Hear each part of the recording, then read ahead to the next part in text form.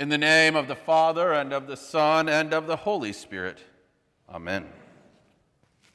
Almighty God, to whom all hearts are open, all desires known, and from whom no secrets are hid, cleanse the thoughts of our hearts by the inspiration of your Holy Spirit, that we may perfectly love you and worthily magnify your holy name through Jesus Christ our Lord. Amen. Let us confess our sin in the presence of God and one another.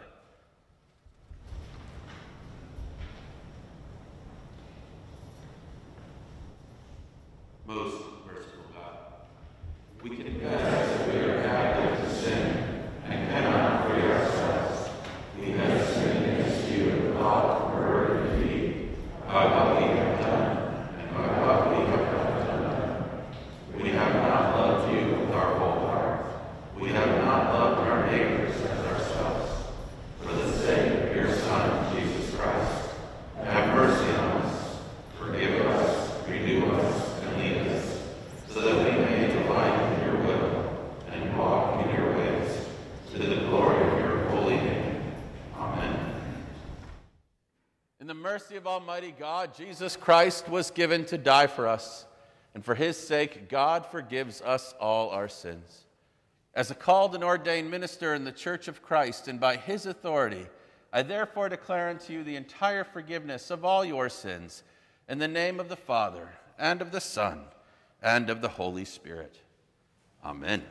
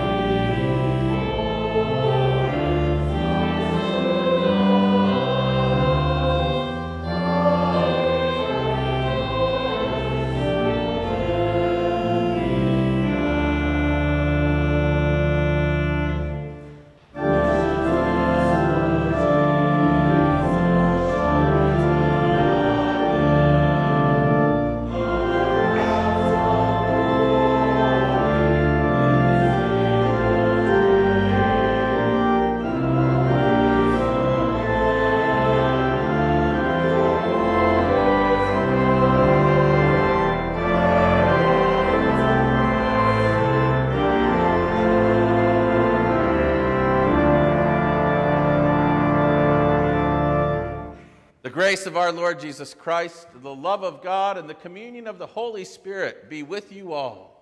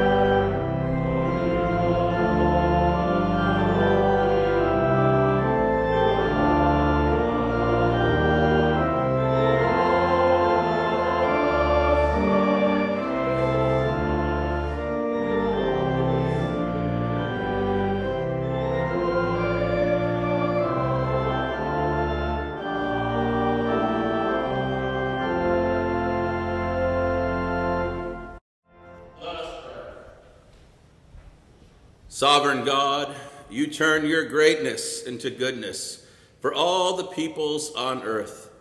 Shape us into your willing servants of your kingdom and make us desire always and only your will through Jesus Christ, our Savior and Lord.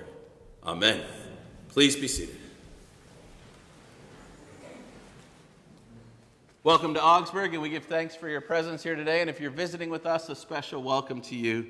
And please let us know how we can walk with you on your faith journey. All of the announcements that I want to share with you today are rooted in a sense of appreciation for your generosity in sharing God's abundance and to be aware of how those needs continue. So, first off, last week that I mentioned that our overflow shelter season will kick off on December 1st. But unlike seasons past, there are fewer shelters here in the community serving that need. And so Augsburg is one of two this year instead of one of four, which means volunteers who have been at other shelter sites will certainly want to share in the work that we do here this year. So, to that end, a reminder that we've had a week now where we've been able to sign up here for Augsburg shelter dates for meals or for volunteer roles that might work for you or have a special significant date. And we have until tomorrow morning when the sign up list will be released to the whole community for them to share in as well. And so, if you're interested in serving a meal on a special date to you or volunteering on a particular night of the week, I would encourage you this afternoon or this evening to fill that out so that you're able to claim those times. And if you have any questions about that process, Pastor Katie, our emerging ministries coordinator, is here in the back and happy to answer those. Then, also this past week, we learned of a need for our generosity in terms of our partnership with the Christ Beloved Community Food Pantry. They were um, not able to receive an order from the government, but still have people coming to collect food. And so they reached out to their church partners to provide for those staples that are usually provided through that government gift.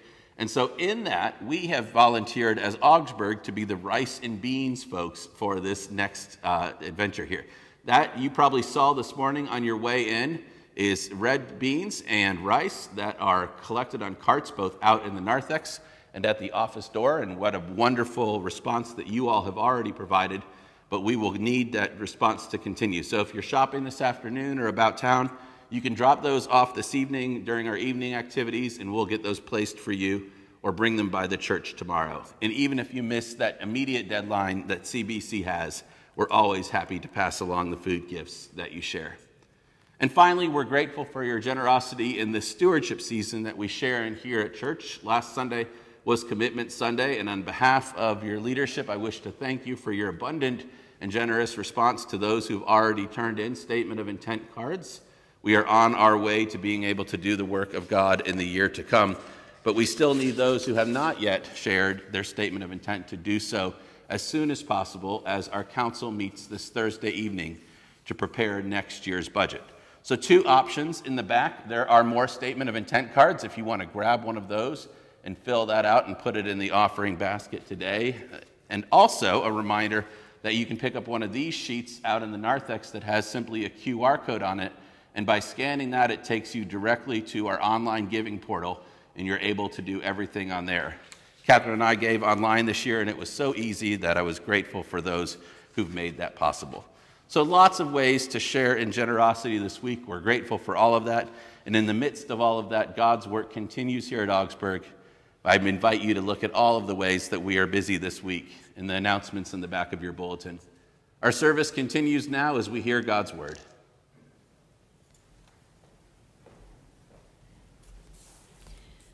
A reading from Isaiah. Surely he has borne our infirmities and carried our diseases. Yet we accounted him stricken, struck down by God, and afflicted. But he was wounded for our transgressions, crushed for our iniquities. Upon him was the punishment that made us whole, and by his bruises we are healed. All we like sheep have gone astray, we have all turned to our own way and the Lord has laid on him the iniquity of us all. He was oppressed and he was afflicted, yet he did not open his mouth. Like a lamb that is led to the slaughter, like a sheep that is before its shearers is silent, so he did not open his mouth. by a perversion of justice, he was taken away. Who could have imagined his future? For he was cut off from the land of the living, stricken for the transgression of my people. They made his grave with the wicked and his tomb with the witch, rich, although he had done no violence and there was no deceit in his mouth. Yet it was the will of the Lord to crush him with pain. When you make his life an offering for sin, he shall see his offspring and shall prolong his days. Through him the will of the Lord shall prosper. Out of his anguish he shall see light. He shall find satisfaction through his knowledge. The righteous one, my servant, shall make many righteous, and he shall bear their iniquities. Therefore, I will allot him a portion with the great, and he shall divide the spoil with the strong, because he poured out himself to death and was numbered with the transgressors. Yet he bore the sin of many and made intercession for the transgressors. The word of the Lord. Thank you.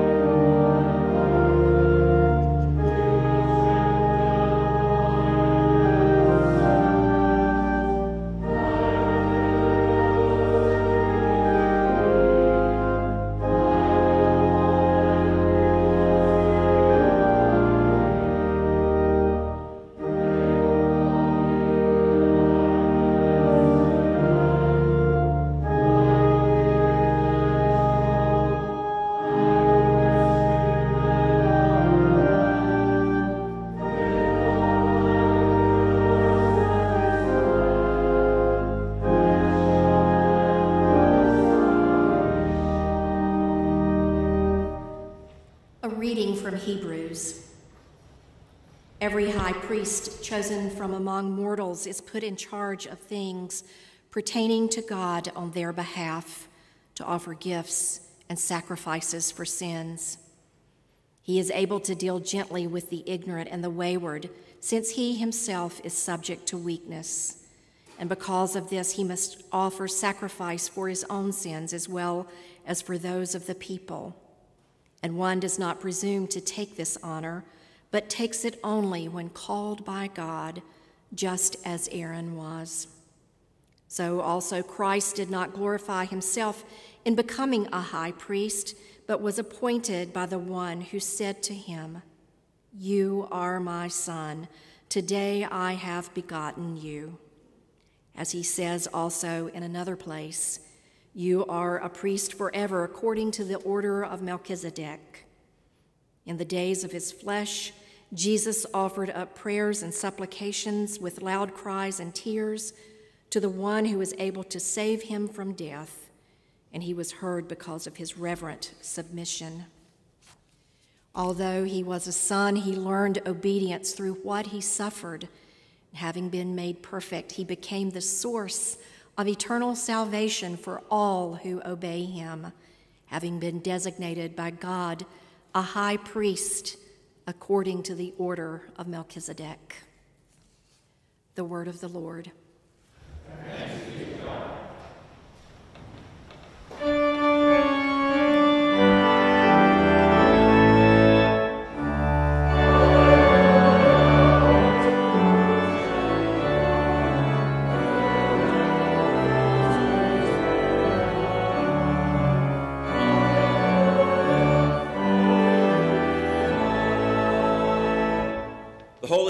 Gospel according to Mark.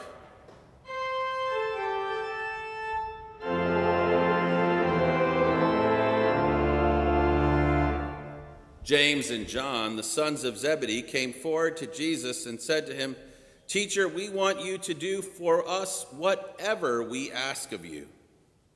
And he said to them, What is it that you want me to do for you? And they said to him, Grant us to sit, one at your right hand and one at your left, in your glory. But Jesus said to them, You do not know what you are asking. Are you able to drink the cup that I drink, or be baptized with the baptism that I am baptized with? They replied, We are able. Then Jesus said to them, The cup that I drink, you will drink, and with the baptism with which I am baptized, you will be baptized.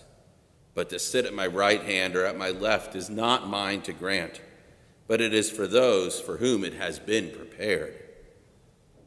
When the ten heard this, they began to be angry with James and John. So Jesus called them and said to them, You know that among the Gentiles, those whom they recognize as their rulers lord it over them, and their great ones are tyrants over them.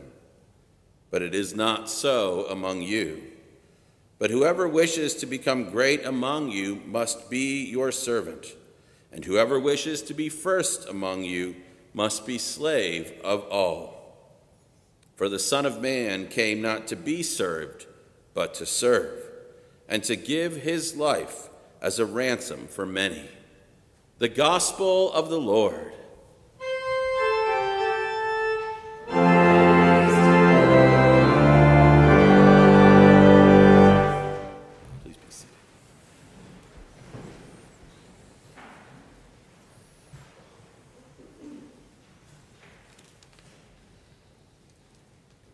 Grace and peace to you from God our Father and from our Lord and Savior Jesus Christ. Amen. 18 years ago, I was ordained to a call of word and sacrament. And over those years, I have come to get to know the three year cycle of the Revised Common Lectionary pretty well.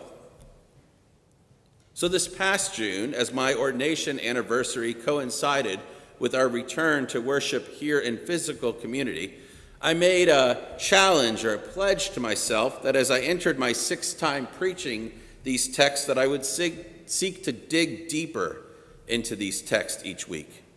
I wanted to approach these texts from a different angle that I had the five times prior. You see, preachers tend to find a, a path that works and every three years do it again and again and again, and I wanted to be certain not to do that. And so, with that in mind, as I looked to these texts for this week, I sought to find a deeper explanation of this conversation that Jesus has with James and John. At first glance, our gospel seems like a squabble between the two brothers, their fellow disciples, and Jesus. At face value, James and John want to have a place of prominence, a favored status. But as I spent time thinking about this in a different way, I came to find that these two were not simply looking for a promotion. What they were looking for was power. They want Jesus to do what they tell him to do. Think about that for a moment. They want Jesus to do what they tell him to do, and they want Jesus to grant places of honor that not only put them at the head table, at the right and the left, but give them authority. James and John have been journeying with Jesus long enough that they are trying to parlay their discipleship status into something that even gives them a bigger individual status. In essence, they want to ride Jesus' coattails, or should we say robe tails, to having the same level of power and admiration that Jesus commands everywhere that he goes. Of course, the danger in this whole thought process is easy to understand. By seeking that level of authority and power, the brothers no longer have a need for Jesus' Jesus's preaching and teaching. They have what they want. And so when we look at this text in that way, it'd be all right to ponder and to understand as a good lesson if this was simply a story told in the Gospel of Mark. But what James and John do in this text has been repeated time and time again for the last two millennia. How often have we encountered throughout Christian history those who have used their Christian status to exert authority over others? Rulers of all types, kings and queens, dictators and heads of state, have all used their Christian authority over others, and the great ones are tyrants over them. The aristocracy, the bourgeoisie, landowners and masters and all types of titans of industry have found ways to make money and advance their livelihood on the backs of others with that same Christian authority. And of course, the church, as an institution, as the denominations within it, and unfortunately, times many priests, pastors, and others in positions of ecclesiastical power have used their Christian authority in less than grace filled ways. Just like James and John, there have been countless individuals, institutions, and empires that have used their connections to Christ to exert authority and their whims over others. And one of the most effective in doing so is not simply by exerting their power and claiming their status, but also by creating a state of suffering for their subjects below them. Today's first lesson from Isaiah is part of the familiar servant song. We hear this particular passage that Pastor Lori read just a moment ago in a longer form every Good Friday as we make the connection between the suffering that Jesus undergoes for us on the cross with the poetic words of the suffering servant in Isaiah. Now, as we know, Isaiah was written during the Babylonian exile long before Jesus was ever incarnate and present physically here on earth. And to this day, biblical scholars continue to debate whether or not there was a single individual who this text was referred to, or whether this servant was simply an analogy for the whole people of Israel who suffered throughout the exile. But regardless of that Old Testament debate, there were many in post New Testament times who found conniving ways in their authority to subject others to great suffering. And as I read commentaries on this passage from Isaiah this week, I was somewhat overwhelmed and frankly ashamed to discover how many times throughout the last 2,000 years that those who have used their Christian authority to force their subjects to suffer. The scripture text has been used over the last 2,000 years to condone crusades and inquisitions that took young men away from their homes to fight in wars that often had little value. The scripture text has been used to allow the slave trade to flourish here in the colonies and throughout the Americas. This text has been used to force conversions of communities throughout the First Nations, indigenous persons, and in other communities. And this text has been used to perpetuate the anti Semitism that existed in Luther's time and in more recent times.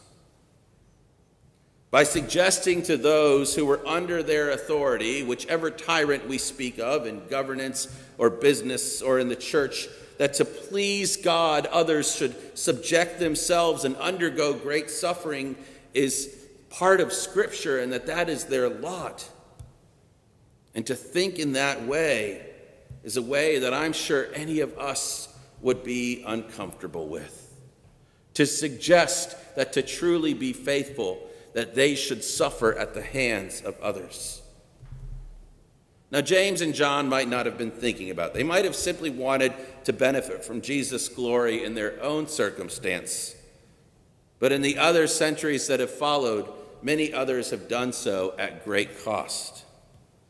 And I think it's important that as we reflect upon history and think of the ways that authorities have used Scripture to force suffering of those under them, that we need to remember that that is not simply a matter of historical record.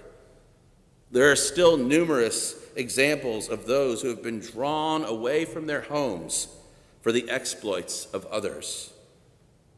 That there are still those who are human trafficked today and often groomed into whatever circumstances they might be facing and told that it's part of their religious responsibility. That conversions of others still happen in ways that we might be unaware of and certainly uncomfortable with. And that, yes, anti Semitism still exists today.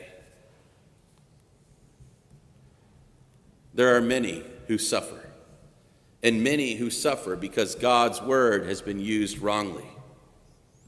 And it is for those people, those who suffer, for who Jesus was sent into the world.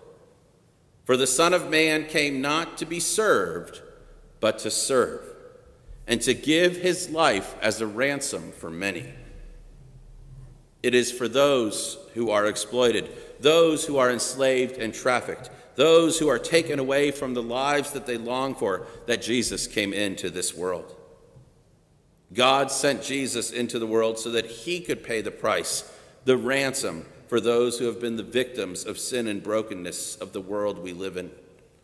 God sent Jesus into the world to remind those who are suffering in this daily life that indeed there is something better, that the promise is made known through the life, death, and resurrection of Jesus Christ would lead to all of those who this world has made last be the ones who are first. Now, here's the thing I know that almost everyone who hears this today knows this. They hear this preaching, and it's obvious that we don't want people to suffer, and we would certainly not want to be the ones who cause the suffering. We know that Jesus came into this world to live among us and then rise from the dead for all who are marginalized, all of those who are suffering in any way. But we have to be careful as followers of Jesus that we are not quick to simply say, Well, Jesus paid that ransom for all who suffer. Let them rest in that hope, and we'll go back to living our daily lives. No, we are called to do more than that. As Christians, as disciples of Jesus, we are not called to suffer. Rather, we are called to stand with those who suffer. We are called to be the voice for those who have been oppressed, exploited, and taken advantage of. We are called to recognize our privileges, the authority that we have in our own lives, and to use that care for those who are suffering in any way. Suffering is all around us. We don't have to look far to find it. But when we do, we can't ignore it. Now, usually at this point in the sermon, I would give a few examples or maybe even mention a few of our mission partners and how we can help those who suffer. But today I want to be careful to not limit our vision of the suffering to only those that we know that exist in the world around us. Rather, suffering is everywhere, and suffering takes place in ways that if we were to see it, we would recognize it clearly. For we know what is right and wrong, we know what is a healthy way to live and what is an unhealthy way to live, and we often see that there are perpetrators who cause suffering on others.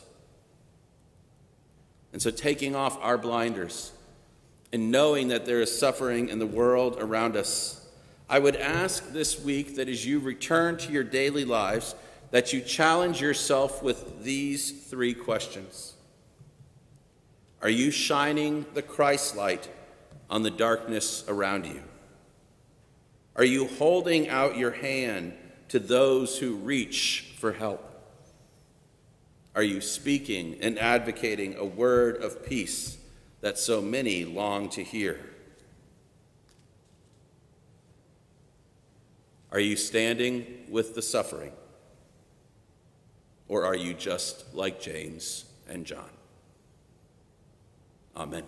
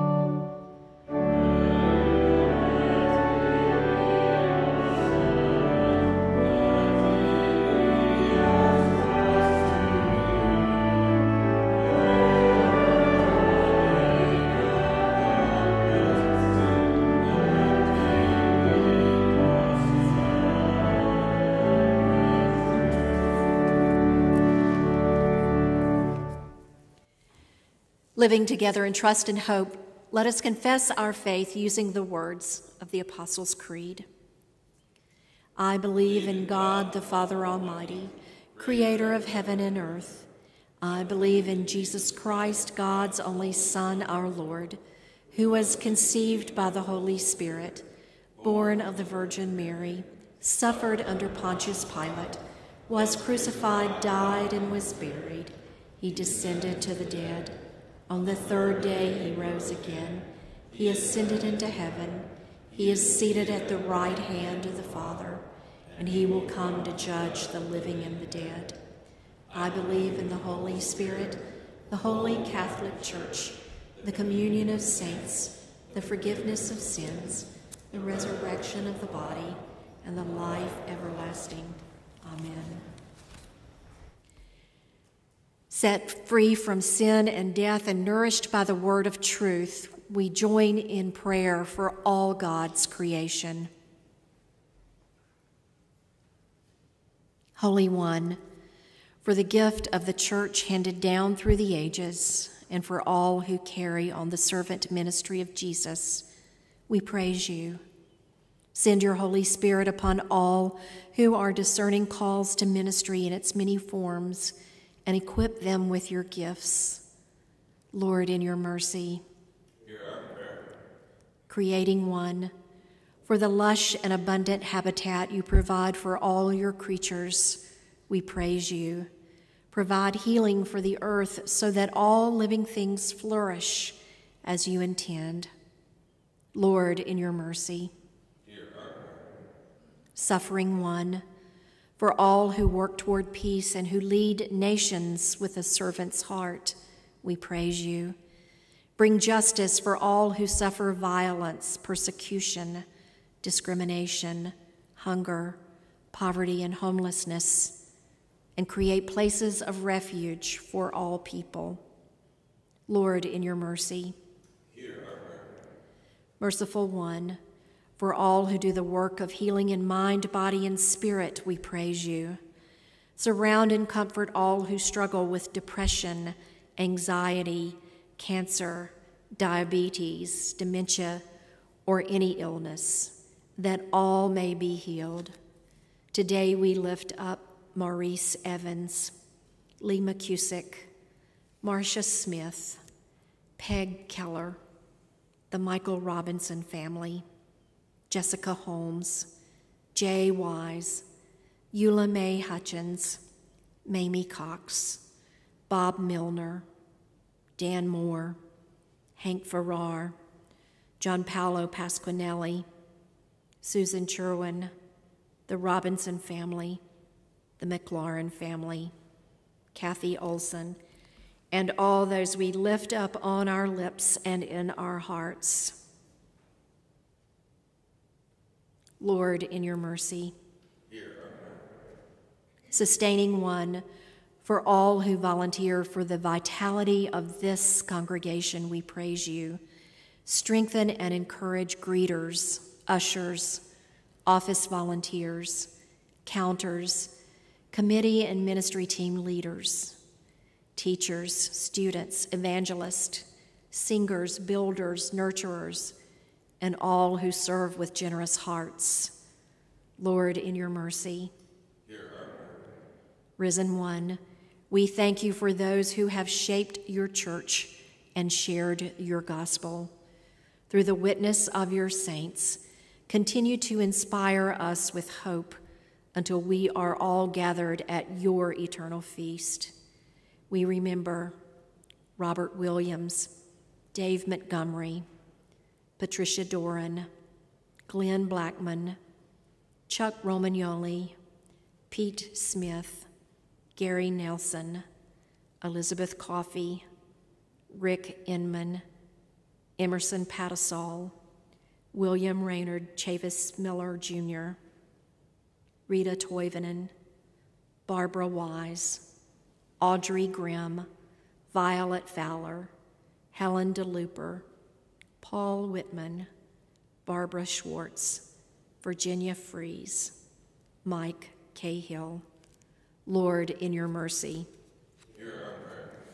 Confident that you hear us, O God, we boldly place our prayers into your hands through Jesus Christ, our truth and life. Amen. The peace of Christ be with you always. Please remain standing.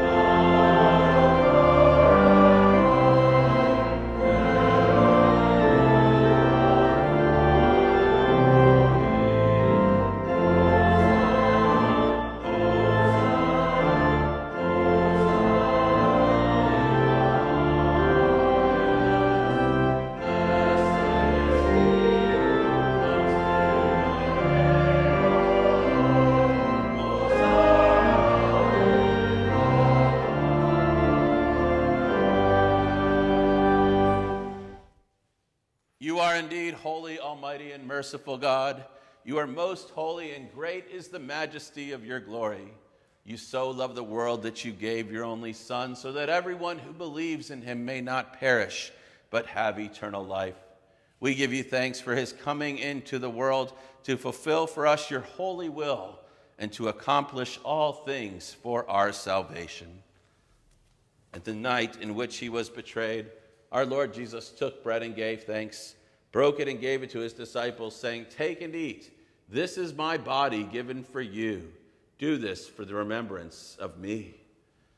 And again, after supper, he took the cup, gave thanks, and gave it for all to drink, saying, This cup is the new covenant of my blood, shed for you and for all people for the forgiveness of sin. Do this for the remembrance of me. For as often as we eat of this bread and drink from this cup, we proclaim the Lord's death until he comes. Christ has died. Christ is risen. Christ will come again. Remembering, therefore, his salutary command, his life given passion and death, his glorious resurrection and ascension, and the promise of his coming again, we give thanks to you, Lord, O God Almighty, not as we are ought, but as we are able And we ask you to mercifully accept our praise and thanksgiving, and with your word and Holy Spirit to bless us, your servants, and these your own gifts of bread and wine, so that we and all who share in the body and blood of Christ may be filled with heavenly blessing and grace, and receiving the forgiveness of sin, may be formed to live as your holy people and be given our inheritance with all your saints. To you, O God, Father, Son, and Holy Spirit, be all honor and glory in your holy church, now and forever. Amen. Lord, remember us in your kingdom and teach us to pray. Our Father, who art in heaven, hallowed be thy name. Thy kingdom come, thy will be done, on earth as it is in heaven. Give us this day our daily bread, and forgive us our trespasses as we forgive those who trespass against us. And lead us not into temptation, but deliver us from evil. For thine is the kingdom, and the power, and the glory, forever and ever. Amen. When we eat of this bread, we share the body of Christ. When we drink from this cup, we share the blood of Christ.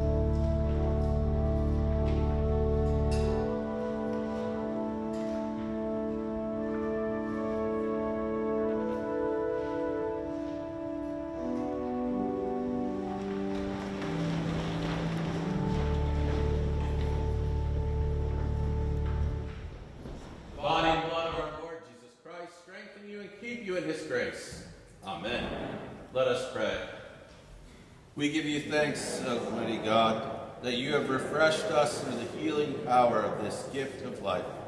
In your mercy, strengthen us through this gift, in faith toward you, and in fervent love toward one another, for the sake of Jesus Christ our Lord. Amen. The Lord bless you and keep you. The Lord's face shine upon you and be gracious unto you. The Lord look upon you with mercy and give you peace.